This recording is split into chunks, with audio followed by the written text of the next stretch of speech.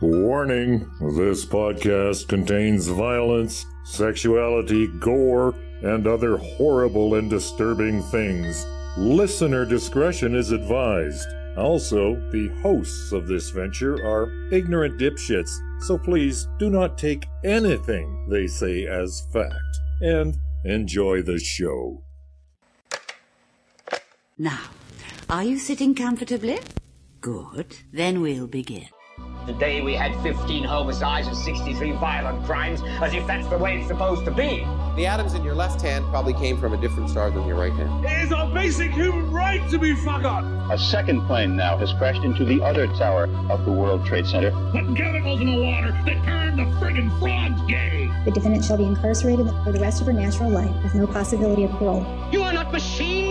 You are not cattle. You are men. We were somewhere around Barstow, on the edge of the desert, when the drugs began to take hold. Hold. Hold. Hold. Hold. Oh, cause a very charges. For this episode about fa- fatal familial insomnia and sleep in general, I'm going to try and roll a joint and then smoke it and have that for the poison. So, what's your poison?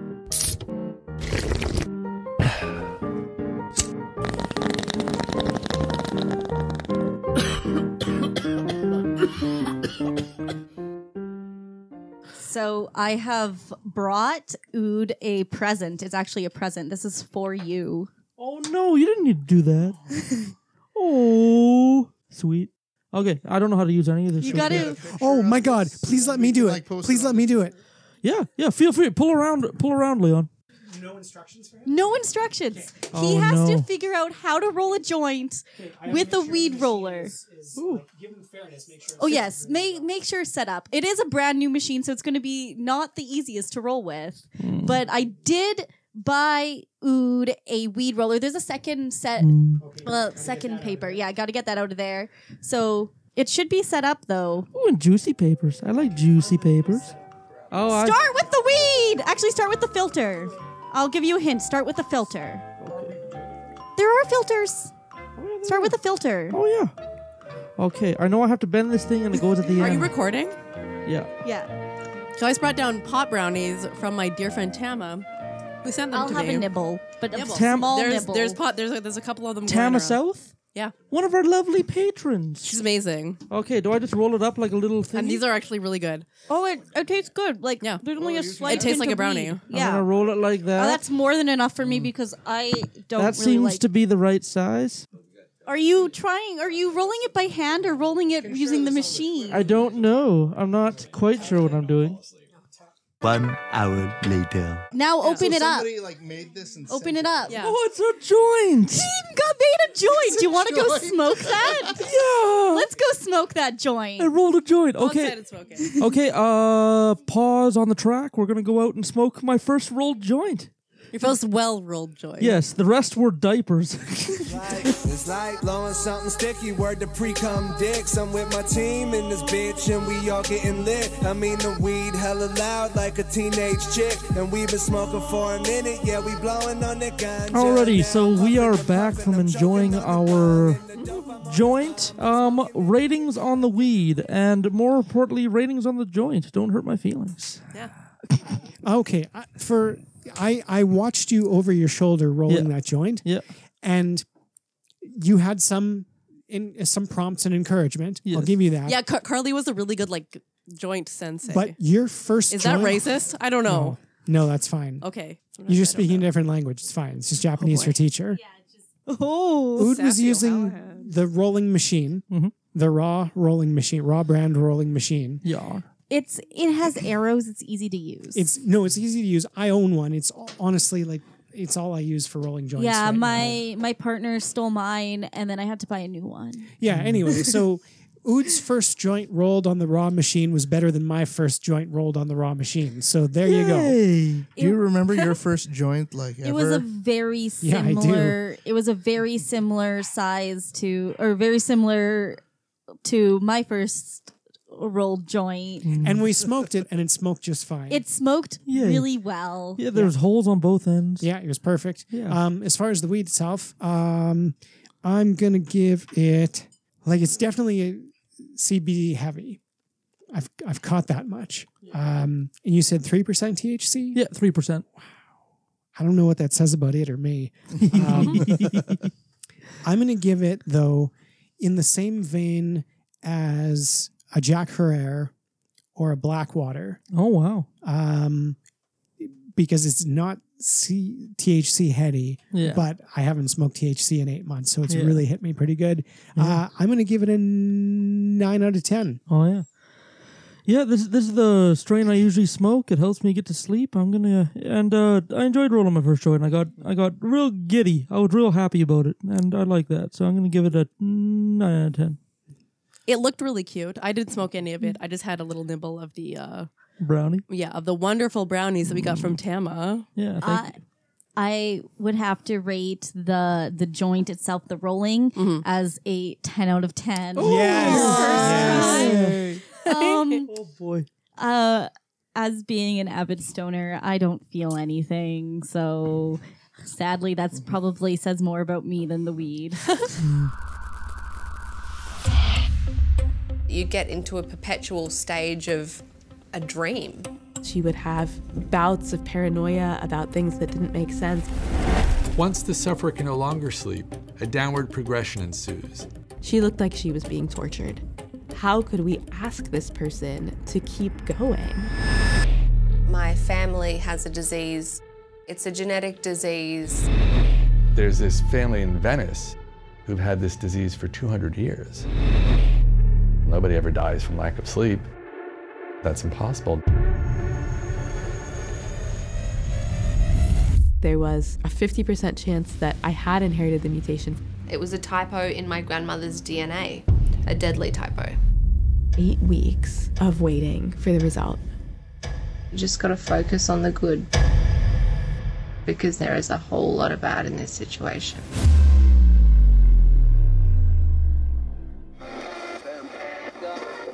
I don't know. Sleep is a weird thing. We spend a third of our lives doing it. When you really think about it, we fall in into an unconscious, vulnerable state where we can be attacked or eaten, or like it doesn't seem advantageous to survival. I don't know, nipples pinched.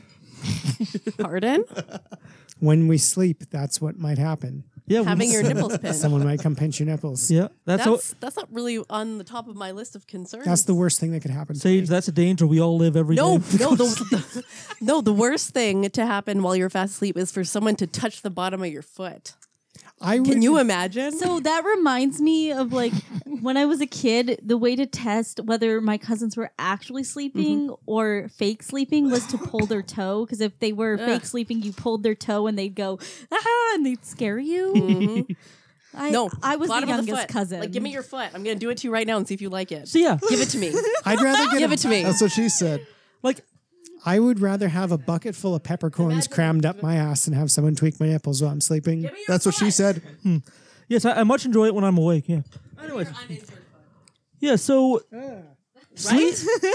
Can you imagine being awoken to that sensation? I It would still be, feel it. I feel it, and no one has touched Yeah. my foot. It would be way worse than having someone tweak your nipples awake. I don't know. No, it's having the bottom of your foot like psht, way worse. Uh, I'd give it uh, even. Mm, I don't know. I'm feeling both of them, and I dislike Yeah. both of them. I dislike both of them, but I think I dislike the foot thing more. Well, I don't know. I feel just- less I'm- violated when I'm touched on the foot. I would be scared that someone would like that they're gonna hurt my piercings. Yeah, when I had my nipples pierced, it was yeah, I'd be it's scared. way it's way more sensitive. it's like I'd be scared that they're gonna like oh Yeah. like like Or, do like, something with them. the piercings and like pull them weird or sn- get snagged on. Do you live in fear of getting them caught on something? Yes, That's- when I you're would live washing in- with I a would live in loofah. fear. or loofah or like I live in fear of uh Afghans like the Oh my God, blankets. yeah. Oh no. The You always have of to- blanket. yeah. I I live in fear of crocheted and knitted blankets. They'll get hooked on there and it'll pull and it'll really hurt. Because I have gotten my nipple piercings caught on on like crocheted or knitted blankets, Ooh. and That makes me shiver. Fuck.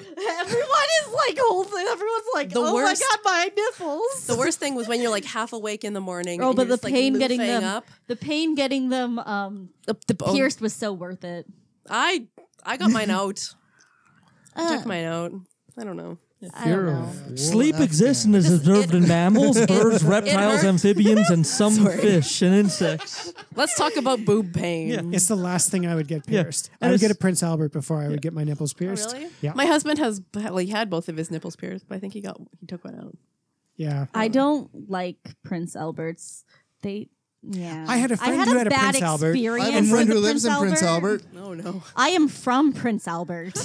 Okay, if you take your Prince Albert out and try to pee, you have to plug one of the two holes to keep the pee from coming out in two different directions. I am aware of this. I have One more hole and it's illegally um, a flute, I think. I'm not going to say too much, but I had a bad experience involving my vulva and a Prince Albert. Oh. Oh, it probably just like got, got hooked. And Don't want to hear it. And let's just end it with that. Mm-hmm. Yeah. So sleep is observed in fish, mammals, and Even some simple animals like nematodes who only have 300 neurons. and Richard Bigley. Yeah. So sleep is observed across all these animals. Now evolution is pretty good at evolving things out that makes things vulnerable, that like puts you in a state where you're less likely to survive, but yet sleep still exists throughout the animal kingdom.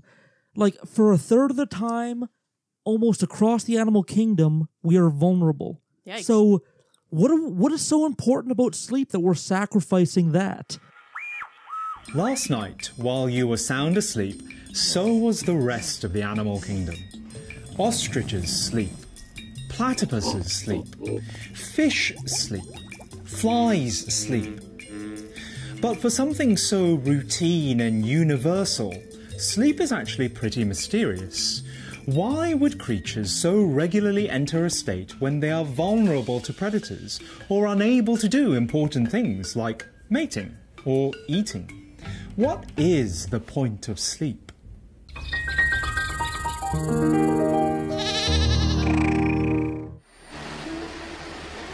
As we get sleepy, so this is what happens when we sleep. As we get sleepy, our pineal gland produces melanin. Some people take melanin supplements to go to bed. That's because it's a natural way to ease your body into sleep because it's the same chemical that your pu- your you mean pineal melatonin? gland. Yes, melatonin. Yes. I used to take that. I took that straight for like four years. Take I take melatonin every once in a while. It's not healthy to take it Because every day. melanin is a Which is coloring in your skin. Yes, melanin, but me- Melatonin. me- melatonin's like a happy It's a brain chemical. Yeah. Yeah. So yeah, no, I take it. Don't every take it once every in a while. Take it every once in a while. Don't take it every day because I just got off of it and it was like literally like quitting smoking. Yeah, you build a tolerance to it like anything else.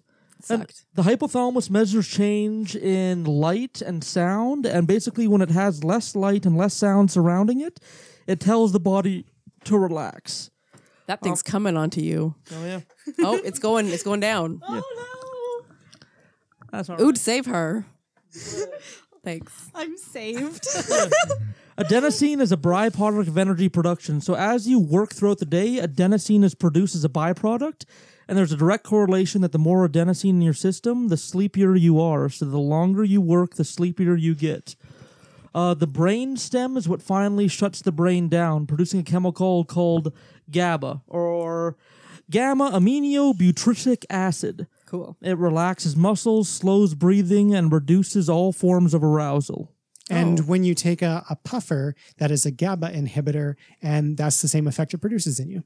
Interesting. Neat. There you go. Where can I Slows buy some? down. Asking for a friend. Pharmacy. All right, just like I can just be like, hey, can I No, have some you GABA? need a prescription. So stage one of sleep is non-REM sleep. Figure out how to REM get it. stands for rapid eye movement. That means when It's you're a delightful band. Oh yes. Sing about losing religions. Oh yes. Wait, what? What? Losing my religion. That's like me in the corner. It's a good song. think Superman it is a as good well, song, yeah. R.E.M.. That's me in the spot. Or it's the end of the world. Oh, Yeah, I it's great. It starts with the the earthquake. It took a Birds, while. snakes, and airplanes. Lenny Bruce is not afraid. The end. I have a hurricane. It Listen took to a yourself, Trim. moment for me to, Can you to do the like whole- make can you do the whole thing? connection. Um, We got have Not to anymore. We, we used to be able to do it. with Hmm. I used to do the Johnny Cash "I've Been Everywhere" man or the Hank Oh, song. yeah. everywhere. Yeah. I've been everywhere. So that's I also do one week for karaoke now and again. Oh yeah. Oh, I know that so song. do I. I'm big into Beatles and show tunes for karaoke. That's no, I like. Yeah. Like a prayer Madonna. That's my jam. And if I'm if the if the Naked karaoke ladies. bar is empty and I can be selfish, I'll sing every single fucking minute of Paradise by the Dashboard Lights. I fucking love that Yes. song. that is yes. Yes, I used to know the solo at or like the the, the ballad part at the end. Oh, where there's I know like- all of it. We should do it at karaoke. We should go- we should have OBP Get me karaoke super night. shit faced, and I'm up. We for it. should Take have a an whole bunch of OB GABA karaoke night. inhibitors. So the, for the first one to five minutes, you're in stage one of REM sleep. You're lightly sleeping. Your muscles can still move and twitch. Your eyes are moving slowly under their lids, and brain waves begin to slow. From five minutes to 30 minutes, stage two, your body temperature drops. Your eyes stop moving, breathing slows, heartbeat slows, and brain waves have a spiking motion. Brain waves go through periods in stage two of just being totally relaxed and having spikes of activity. Some neuroscientists describe it as kind of dreams jump starting because some Kind of people sounds have- like my day to day life. yeah. Sweet. Oh, REM is the name of my American rock band. Oh, there you go. What? I'll allow it. From 30 to 90 You're minutes- lucky I think you're mad at me. From 30 to 90 minutes is stage three of REM sleep. Breathing, heart heartbeats are at an all time low. Um, you're fully relaxed and you're very difficult to awaken. Uh, this stage has been directly correlated with feeling refreshed in the morning. So there's a direct correlation between how much stage 3 REM you get and how refreshed you feel the next morning. And then after 90 minutes, you enter REM sleep, rapid eye movement. Your brain becomes as active as it was when you were awake, as it's dreaming and producing things. Your amygdala, which is the center of emotions, and your thalamus, which is the middleman of all your sensory organs, also become as active as they were when you were awake. So all your sensory organs and the creative parts of your brain are active and burning calories as if you were awake. And you have to be careful about taking benzodiazepines like Hmm. lorazepam and clonazepam because they will affect REM sleep. Oh, really? Freaking love lorazepam. Yeah, it's a good one. I have it in my purse right now. I have it in my bag right now. I have it in my purse too, and also somewhere in my. It's I have it in my purse. I was prescribed it when I was in, I, or I was given, or I was prescribed like ten pills when I went to uh, the emergency last time. Mm-hmm. It's good Sounds stuff. about right. It is good. But have you have you tried taking Let's impose your love on clonazepam her. instead? I have not because I've only been try. I've uh, yeah. This is a new Clonazepam's thing. way better. Cl- clomazepam's be- better than lorazepam. I don't think I've ever tried Clonazepam that. is better than lorazepam because it lasts a lot longer. It's got a slightly slower onset, so if you're having a panic attack, clonazepam's probably not the best thing. Mm. But to, as a preventative treatment, like taking a clonazepam every morning is the best thing I've ever done. I Oh. I have taken this once where I didn't go straight to sleep and I came home with a new pair of shoes. Surprise. That's lorazepam. yeah, Yeah. great. Yeah. causes anti-retrograde amnesia, which means you don't just forget about the things that happen after you take it, but it will reset your memory from several hours before you have taken it. Mm-hmm. Yeah, I I I I listened to a podcast where you you were talking about this. Yeah, probably. I heard this from you, but yeah, no, this this I bought me a new pair of shoes. Yeah. Do you do you take it uh, orally or sublingually? Is that in the ass? That, that's how I've that's how I've taken it too. Is that in your the tongue. ass? That's no, under that's tongue. under your tongue. Isn't that orally? No, No. orally is down your throat. Orally is through your. He gets his oral sex and anal sex really, really confused. it's turned into it's it's there were some awkward nights, Mr. Bigley. you said you wouldn't tell anyone. I don't remember doing this. I the last time I did it, I just like worked for the rest of the day. Hmm. You probably shouldn't take Larry lorazepam alone anymore. Is my official recommendation as a healthcare practitioner. Were the shoes cute? Unless you want new pairs of shoes. They were the yes, they were shoes that I wanted. Okay, and well, like then th- I just okay I wasn't going to buy them, but I just found myself on Broadway buying shoes. Mm-hmm. Adult supervision is the recommendation. That well, is as long as it's just shoes, then whatever. But sometimes it's not just shoes. She's not gonna go buy a car. If she want, if she, if her l- lorazepam Carly self wants to go buy those that cute pair of shoes, I that took she's lorazepam been- once, and when I woke up, the lamp that I had on my bedside table was gone, and instead there were just two fucking wires hanging out of the wall where it was. I never found the lamp. Oh my god! Lorazepam. yeah, it's it's it's something. You just yeeted it out of the universe. Yeah, You're no. just like, Every every other gone. time I've taken it, it's been at like bedtime, and I've been going to sleep. Yeah. The journey towards why we lorazepam. need sleep started Sorry. in 1814. Celexa. Citalopram is Celexa. When Mary de Monahir, a scientist in France, kept puppies awake for two to five days and found that they died. That's mean. Yes. Spoiler, like give us a content warning. Sorry. Uh, Animal cruelty. Yes, animal cruelty. Don't care about people. If you didn't like that last bit, don't listen to it. Yep. Um, so like since then we've learned that sleep is essential because these puppies died within two to five days because this scientist from the 1814s uh, kept them awake. 1814. Yes, both of them. The golden. All of age them, all the 1814s, all the multiverse. Um, you will die from sleep deprivation quicker than you will die from starvation in most cases. Oh boy. Uh, a lack of sleep, with all other variables controlled, is directly correlated with a rise in strokes, heart attacks, diabetes, and dementia. Cortisol. Oh yes, cortisol spikes. Spikes. Yeah. Few animals go without sleep, so it must be important. So why do we do it?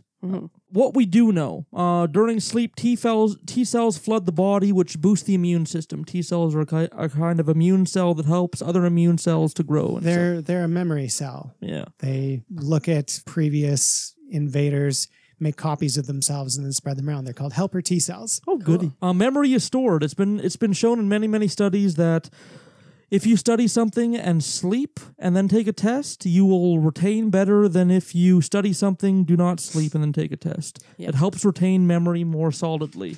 Could we suggest that's because cortisol blocks memory? Maybe that that could be a hypothesis. All right, I so Keith, hypothesize. sorry, I'm going to interrupt. Yep. When I was younger and stupider, I took cor- cortisol as like a weight loss pill. Yeah. Why did I do that?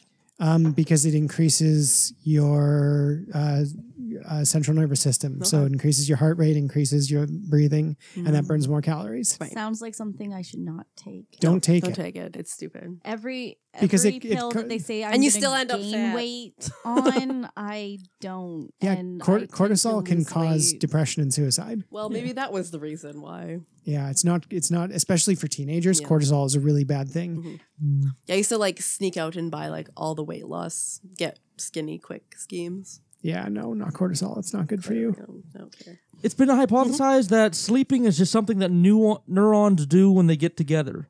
Um, even when they grow neurons in lab dishes in the lab, they have cycles of low activity and cycles of high activity.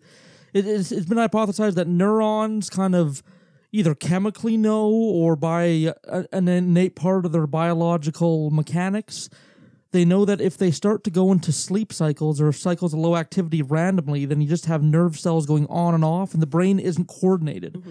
So it seems like neurons have evolved a way to all go into a state of low activity at the same time. It's kind of like how a heart beats. All the muscles have to coordinate and beat at the same time, or else you have a heart attack where all the muscles are just twitching independently. Um, there's a hypothesis that the brain is rebuilding energy, but it doesn't really make sense because the brain stop burns half as much glucose, but increases burning of other sugars, which equal ab- about the same amount of energy in dream states. So it doesn't really save energy. So there's not that much to that hypothesis.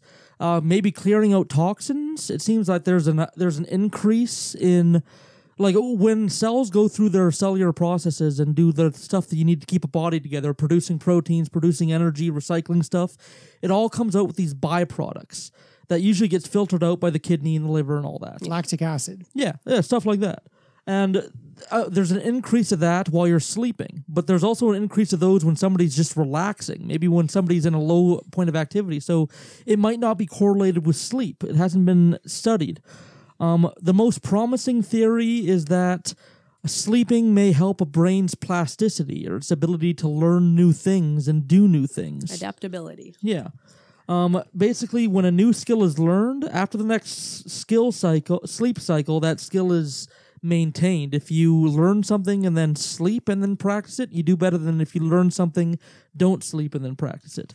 But even that isn't really shown. That's kind of just like studies that haven't been really properly peer reviewed. Um, they've done experiments where one eye is covered. So they cover one eye um, for 24 hours and keep one eye open. And they let that person go to sleep. And they found that when that person is sleeping, the number of brain connections for the covered eye decrease and the number of connections for the uncovered eye increase. Weird. So it's almost like when you're sleeping, your brain is adapting to new phenomena. It notices that, okay, I haven't been getting any input in this eye for 24 hours. Maybe I should start putting more resources to the eye that is getting information. and tha- that's something. But and uh, maybe sleep helps glial cells. That's another one. So glial cells are the goop that surrounds the brain, and they are once thought to be totally inert with no function, but they've s- they've since been found to have some functions. They produce cerebral spinal fluid, which is the fluid that the brain and the spine sits in.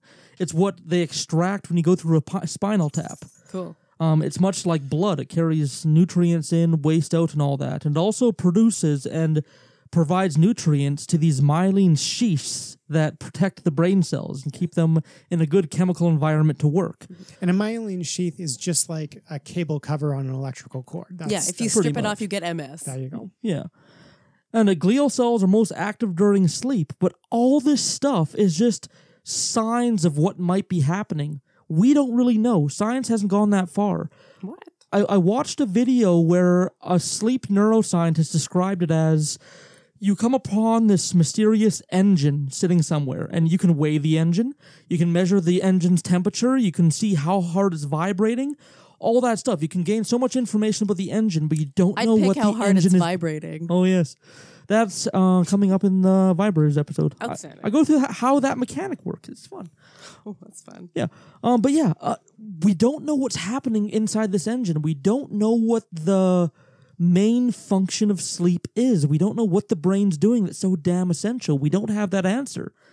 And that makes it all the more horrifying when you develop a disease where you stay awake until you die. Not only do we not know why sleep is important, we don't know how to treat people who suddenly stop being able to sleep. Yikes. Okay. And uh, again, this episode was sent in by a listener that paid $50 and recommended it. And thank you very much because I got to dive into some horrifying shit. If you're watching this, perhaps you have trouble sleeping. Well, spare a thought for a group of people who suffer from FFI or fatal familial insomnia. It brings a new and terrifying meaning to the expression dead tired. You're looking at a man who hasn't slept for months. His name is Silvano, and in this video, he's neither fully awake nor asleep. He was basically a very sick looking man who had not slept for months. Silvano suffered from an extremely rare sleep disorder called fatal familial insomnia, or FFI. It's a genetically linked, incurable brain disorder that destroys the mind's ability to regulate sleep. A former dancer, Silvano could no longer move normally, and he was tormented by his inability to rest. Months later, he slipped into a coma and died, his case proving that never sleeping will eventually kill. Here's a typical case. Age 40, Michael Corke. He was a teacher in Chicago. And sorry, Chicago. He was successful, he was smart. Over six over a period of six weeks, he slowly had trouble getting to sleep. Um, he was sleeping eight hours a night, and then seven, and then six, and then five, and then four. And over six weeks, he started losing the ability to sleep. He thought it might be his wife snoring. His wife moved to the couch, but it didn't help. Um, by eight weeks in, he had an inability to, to sleep for more than 20 minutes at a time. And that 20 minutes at a time is after hours of trying to get to sleep. Sounds like my nine month old. As it progressed, he started having trouble walking. Uh, his sense of taste disappeared, his sense of smell disappeared, his vision started blurring, his sense of hearing went, and he had total cognitive decline where he needed 24 hour care. He couldn't make himself meals, he couldn't get dressed. Um, by six months, he was bedridden, had advanced dementia, Yeah. was completely dependent on caregivers, and he had severe delusions and hallucinations. Um, eight months after the symptoms started, he died of a heart attack. Holy shit. Michael had fatal familial insomnia. Patient zero for fatal familial insomnia was a Venetian doctor from the 1700s. Through gene mapping and studying DNA, they figured that this guy had the mutation that started this disease. And if you didn't know, fatal familial insomnia is a prion disease. Okay. Or prion. Yeah, prion. One of those two. Prion. Yeah. Um, a prion is a misfolded protein. So proteins are kind of like little keys. And when you get a correct protein, it can insert itself into a cell and tell that cell to do a specific thing, and everything goes off without a hitch. Oh, neat. If you have a misfolded protein, it can either tell the cell to do something totally wrong, which may kill the cell, or it blocks up the receivers of that cell. And just like you block a like a drain pipe, soon the sewage starts flowing over, and that cell dies. Well, and the right protein can't get in to tell it what to do correctly. Yep.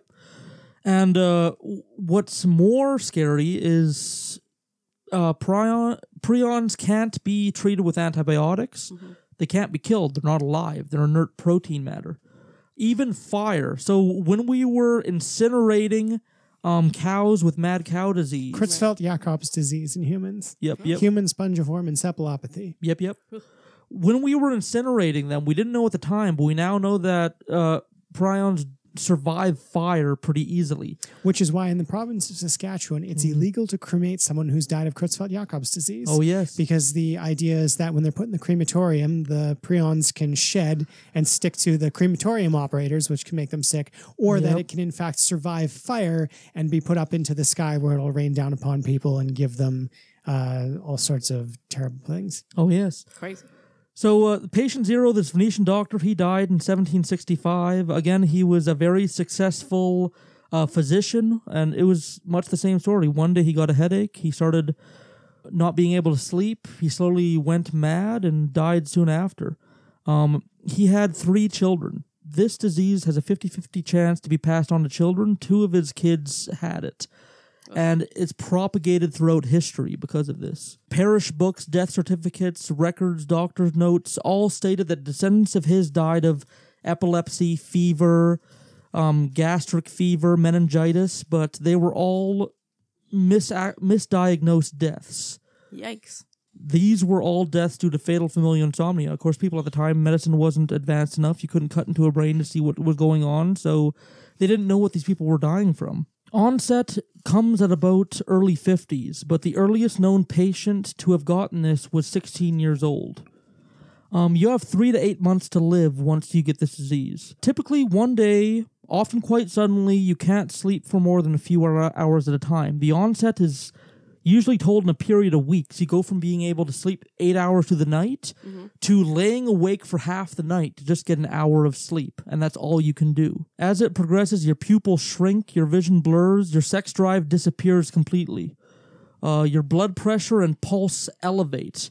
Um, this is where it goes back to the theory that maybe sleep is a kind of rest for the body because the more you go without sleep, the higher your heart rate and blood pressure climb. So it puts a bigger and bigger stress on your body. You start to sweat heavily day and night. Again, your body is going into overdrive to do what sleep didn't do, and you sweat profusely. Soon you're fighting to go all night to get five to ten minute naps, and then after that, it becomes impossible to fall asleep what they discovered when they did autopsies of people with this disease remember how i said the brain stem like is the is the off switch for sleep it's the thing that finally puts the brain to sleep and puts it under what they found is fatal familial insomnia these these prions prions Prions. these prions would go into the brainstem and into the hypothalamus and the thalamus, all the things that are the big off switch for sleep, and it would cover them in holes. It would dig holes in these areas. So basically, it would break the ability for the brain to go to sleep.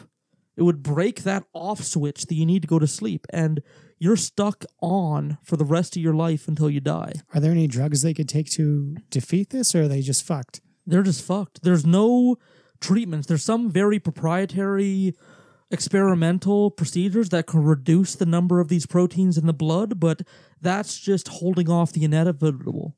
More scarily, this is the scariest part. Um, this just affects the brain stem, kind of the ancient areas of the brain. Like, th- what puts you to sleep is a very ancient area of the brain. It, it developed millions and millions of years ago and it's present across all the animal kingdom. The things that make you you, your frontal cortex, your cortex, the center of thought, awareness, personality, all that is completely unaffected by this disease, which means that as you progress deeper into this and as you become more as you suffer more from a lack of sleep, your conscious mind is awake and aware of everything that's happening. You're aware of how mad you're going. You're aware of how sleepy you are, but you're unable to sleep. They've taken people right to the end. Like they lose the ability to talk, they lose the ability to use their senses, and the little communication devices that they get sometimes terminal patients to communicate with when they can't do it through regular means.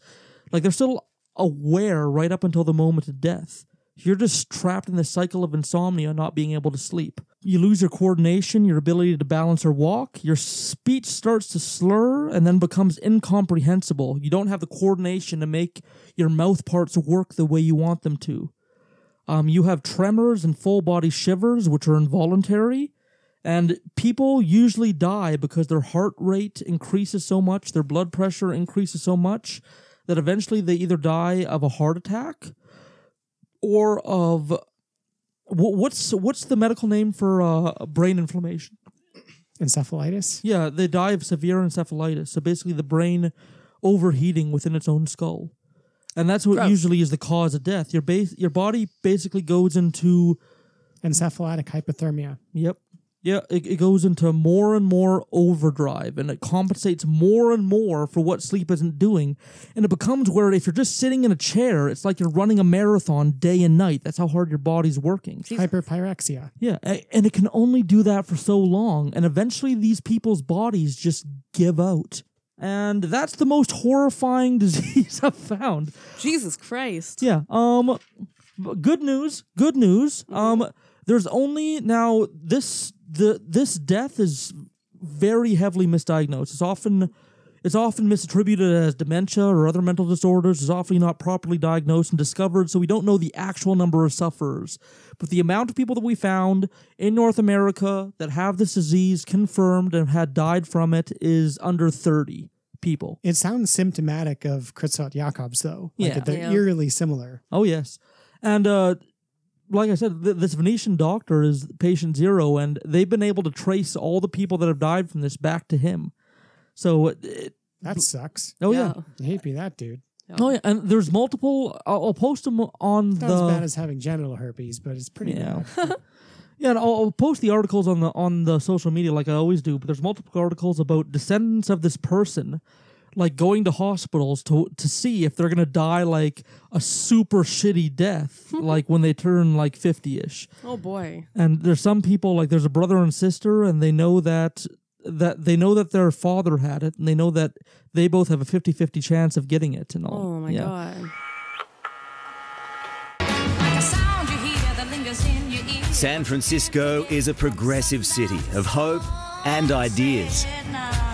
And for Hayley and Lachlan Webb, Otherwise, we can go to the aquarium. it's a place that might one day help save their lives.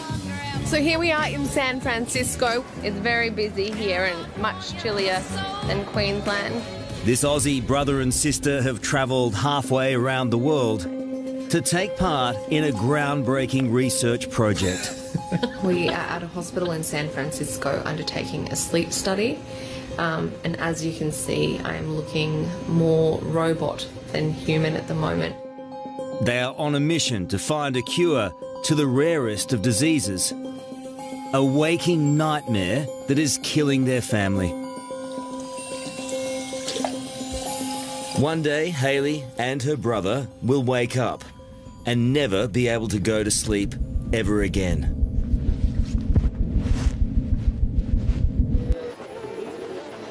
So that's uh, Fatal Familial Insomnia. Um, thank you for sending it in. Thank you for submitting it. Uh, again, I'm going to insert the real name of the person that submitted it. The Ria Stratus, I have him on Twitter too. Oh, there we go. Yeah. Yeah, if you would like to submit an episode, you can make us talk about anything of your choosing. Even if- Literally. I'll say whatever word you want me to. Give me something fucking ridiculous, and I'll take it seriously as fuck. I Yep. promise. Me too. If you want me to research the origins of cotton candy, Yeah. fucking on it, man. Want me Didn't a dentist invent cotton candy? I don't think know. that- I believe That's that why we need to was- research yeah. it. That sounds believe like so. that sounds like insider trading. And also, they call it fairy floss in England. If I get their teeth rotten, Well, I'll be it's coming in the because doors it- real quick. It uses a surprisingly little amount of sugar Mm-hmm. to make a lot of cotton candy. So it's it's it's mind blowing. But yes, you use like a tablespoon of sugar is in like Like one a of- whole big thing. Really? like a thing. Yeah. So Mm. that's why a dentist created it as a sweet treat that that doesn't like Interesting. rot As your- much sugar? This is okay. Don't take my word because just learned this from Somewhere. word of mouth, but but it does make sense because of the fact that it's a very tiny amount. I have made cotton candy before Mhm. of sugar that goes in to make cotton candy. I, I think part of it also is It is that just sugar, though. uh, part of it is uh, when you're like eating it, it stays you know on your teeth or in contact with your teeth for less than say if you were like sucking on like a, a strawberry Or, like, candy chewing on a- whatever, like a- chewing on yeah, something. You like know, a butterscotch or You just something. you know you you consume most of the sugar before it even you know Mm. comes in contact with the teeth. You know? And and you can have like a, a little bit of cotton candy goes a long way Mm-hmm. because it's so sweet. I hate it. Oh, I That love is cotton candy. totally fair because it is so sweet. I like it. he hates everything though. I don't. Pizza. Both hate everything. including Uh, me. I had a really good ham and mushroom pizza two nights ago. I'm a big, Oh, you're eating pizza. now. Domino's. Okay. I'm a big sucker for fun food. And Try ca- Swan cotton pizza. candy is, an, Red is a Swan fun food. pizza is the best. the They put tits. sesame Yep. seeds on the crust. Mm. My my Mhm. partner who is uh gluten or not gluten intolerant, it's something else. I Celiac? Don't know what it is. Okay. No, and it's not celiac either. It's Mhm. like something that is often with bread that makes his gut just go crazy. Oh, sticky wicket syndrome. And and no, it's not that. but it's but fuck it's not the gluten because but he we figured out the other week that he can eat a swan pizza and he's Oh. the happiest Ooh, Swan makes he good is the pizza. happiest Mhm. boy alive. My favorite kind of pizza from a Red Swan Pizza is the spicy paneer. spicy paneer. I like I like the honey garlic chicken. Oh, I don't eat chicken. My hu- my husband really likes the t- teriyaki Rude. chicken. Yes. Finish your episode. Sorry. Here- to finish it off, here are tips for a good sleep. And before you feel guilty for not following these, I don't follow them either. And I have them written in my own fucking book. So turn off the phone about 20 minutes before bed. nope. Nope. have a consistent wake and sleep cycle. Nope. No. Try and keep s- screens and other light sources out of your bedroom. No. Wait, what? There's not supposed to be my laptop. in the Reduce bedroom? daytime naps. Nope. Fuck you. I get. I love Let me naps. have my Daytime naps. nap. I need I don't have time to nap. What is that? And take a melatonin supplement uh, if you have trouble getting to sleep. But not for like five years straight. No, if you're taking it for more than two weeks, for every day, more than two weeks in a row, you should consult your doctor. That's I what the As back it of the bottle says on the Yeah. bottle. I take 1.5 times the maximum dose of Zopiclone every night to medicate myself to sleep. I have this really heavy indica strain named Blue Bear, and if I really need to get to sleep, I just grind up a little bit of that nug and just b- take a good bong hit. Usually, I don't know why, but when I when I use my vaporizer with Blue Bear, it doesn't get me as sleepy when I, I use my bong. So, Whose are these? anyways, I hope none of you succumb to this horrible death and get a good night's sleep. So, I've been Ood Gallifrey. Sage Murray. Leon Filger. Have a good night. Oh, and in studio, Don't forget about me, Carly. And Richard Bigley. And Who's Richard- like regularly in studio. oh yes, Are you complaining? Is that No. a complaint I hear? Never. of tension in the studio. hostility? No, don't say tension in the studio. We're falling apart. People on Twitter, you're our only hope. Yell at Sage. Do not yell at me. I will cry. you, you can yell at me. I can. No, I can't take it. I'm. I'm, um if I've actually done something wrong, I'll cry. yeah. Yeah. Alrighty. If not, then fuck you. Have a good night. Love you. Bye. Thank you for tuning in, and I hope you guys have a wonderful sleep. Um, here's an instrumental tune submitted to us by somebody who's a friend of the show that is really excited to hear his music on the radio, and you know, I, I love making people giddy about their own projects. You know, this podcast started out as a project of our own, and it's look what it's grown into. So, the palette cleanser is Ablaze Within by the artist Offertory. Enjoy and see you in the after show.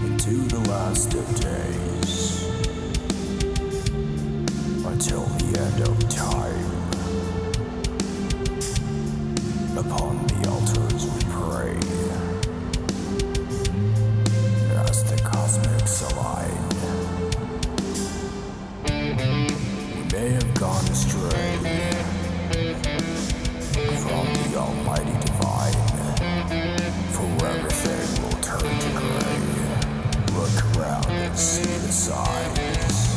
All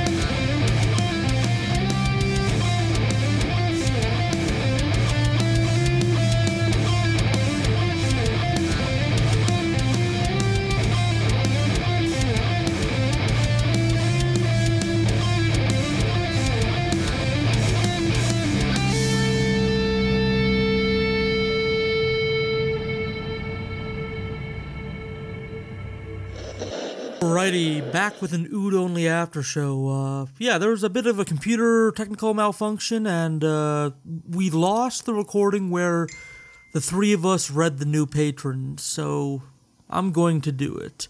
But rest assured, in some universe there wasn't a computer malfunction, and all three of us are introducing the new patrons to the cult. So here are the new Cult of Valhalla members.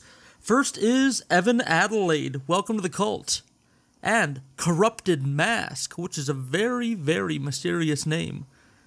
Are you under the mask or are you simply a mask? Does the mask represent you? Or is the mask a metaphor? Who knows? Welcome to the cult. Also, welcome to the cult, LDR. Now, I won't tell what LDR stands for or who it is, but um you guys have heard their voice at least as many times as there are episodes. Uh, they're the one that sing Occultae Veritatis in the start, and thank you for contributing.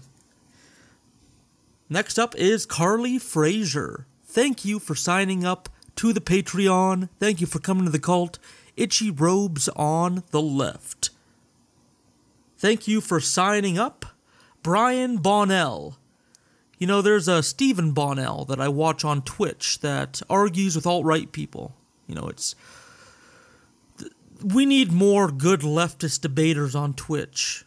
I'm not sure if I'm quick enough to do that, but we need more hardcore leftist debaters to take on the rising alt right surge. So, hello, Brian Bonnell. Welcome to the cult. Hello, Dennis Wager. Welcome to the cult. Come in Get comfortable. Praise Val. Next up is Siren Pedal. Welcome to the cult. Kennedy Griggs. I know a Kennedy. Actually, I know a Kennedy. We're playing a Rifts game right now, and uh, I'm playing a grizzled old war veteran who had his brain ripped out and stuck into an android body that looks exactly like an eight year old girl. And I haven't decided whether I want to have a voice modulator and have a little girl voice, or if I want to have this like 30 years of chain smoking grizzled old veteran's voice coming out. I, I kind of like that as well. Um, next up is Kier. Kier Dark. Thank you for signing up to the Patreon, putting your money where your mouth is, sending money to us every month, and growing this cult. Hail Val. Next up is. Oh no. It has it's spelled X E R A C I A. So Exteria? Exia? Oh man. If I, I definitely got this wrong, hit me up on the Discord. Oh, for those you don't know, if you sign up for the Patreon, you get onto the Discord. Ain't that nice? Um, yeah, so just hit me up on the Discord and I will say it correctly next time. And you'll get your own special redo at the end of an episode. Also up is Robert Carson. Thank you for signing up. Thank you for putting your money where your mouth is and supporting independent media. You know, we're upgrading our systems and we're starting to go on some field trips and ghost hunting missions and stuff like that. And we're to put your money to good use. So we appreciate every penny. Next up is Emmy. Welcome to the cult. Hail Val. Simon Van Bevan. Welcome to the cult. Thank you for joining. And last, thank you, Jacob Gadzella. Thank you for coming to the cult. Thank you for signing up. We appreciate all of you. We love you from the bottom of our hearts. Like we're, you know, we're running a pretty like hardcore cult here. Like we're getting into some big things like general cosplay contests and all that. But you know, it, we still love you all. We still want this to be a little bit, a little bit new age, a little bit feel good. That's the kind of tone we want. We want to be playing guitars in meadows while smoking a shitload of weed. Yeah, so thank you for contributing. Thank you for joining the Patreon. I have been Ood Gallifrey with the Occultae Veritatis. We sure as hell appreciate you guys inviting us into your ear canals each and every week, and we will see you next time.